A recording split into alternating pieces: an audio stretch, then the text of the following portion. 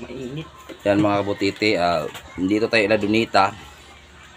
Pero hindi natin siya pwedeng disturbuhan si Dunita guys kasi nandyan si Tonton. Hindi natin siya pwedeng disturbuhin kasi tulog. Tulog na tulog si Dunita, nakahilik. Sinilip ko kanina yung nag-live ako, nandun tulog. Nakita ko talaga si Dunita tulog. Tapos nandyan si Tonton sa loob. Huwag natin disturbuhin, baka mag baka magwala si Tonton, delikado. Yan, hindi pakita ko sa inyo ayun. oh. Kasi pupunta akong Fairview guys eh. Punta tayo ng Fairview. Ayan o.